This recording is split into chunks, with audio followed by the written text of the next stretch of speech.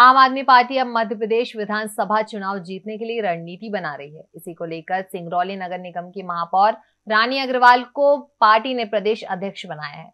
रानी ने प्रदेश अध्यक्ष बनने को लेकर सभी का आभार व्यक्त आम आदमी पार्टी की दो राज्यों में सरकार है। अब वो बाकी राज्यों के चुनाव जीतकर वहाँ सरकार बनाने की रणनीति बना रही है। इसी के तहत पार्टी ने सिंगरौली नगर निगम की महापौर रानी अग्रवाल को आम आदमी पार्टी का प्रदेश अध्यक्ष बनाया है। रानी ने पार्टी के अध्यक्ष बनने पर कहा, मैं इस सम्मान के लिए पार्टी के वरिष्ठ नेताओं और कार्यकर्ताओं का आभार व्यक्त करती हूँ। निश्चित ही आने वाले विधानसभा एवं लोकसभा के चुनावों में आम आदमी पार्टी का परचम लहराएगा। जनता ने महापौर के रूप में मुझे जो सिंगरौली में आशीर्वाद दिया, वो उस काम को भी लेके और मध्य प्रदेश में जो शीर्ष नेताओं ने मुझ पर जो भरोसा दिखाया, उस दोनों कामों को लेकर और जो शीर्ष नेता हैं, उनकी भी हमारे सर पे आशीर्वाद है और जो हमारे एक कार्यकर्ता मध्य प्रदेश हम सब मिलकर काम करेंगे तो काम आसान हो जाता है। हम सिर्फ़ ये नहीं कि हमारी अकेले की जिम्मेवारी है अगेन सब पूरे मिलकर कार्यकर्ता काम करेंगे पूरा संगठन काम करेगा।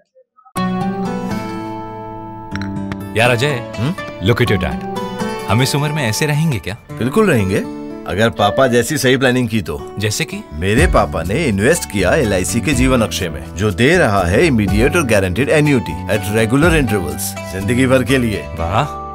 पर हमें तो इस एज तक वेट करना पड़ेगा ना। बिल्कुल नहीं। हमने तो अभी इन्वेस्ट किया है LIC के न्यू जीवन शांति में। जो हमें देगा डिफर्ड एन्यूटी मतलब कुछ साल बाद से regular income I C L I C L I C के एन्यूटी प्लान दे एन्यूटी ऑप्शन और नियमित इनकम पाने में फ्लेक्सिबिलिटी भी एल आई सी हर पल आपके साथ।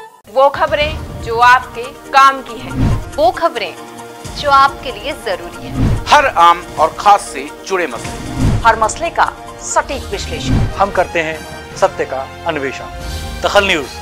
आपके हक में। आप देख रहे हैं दखल न्यूज़।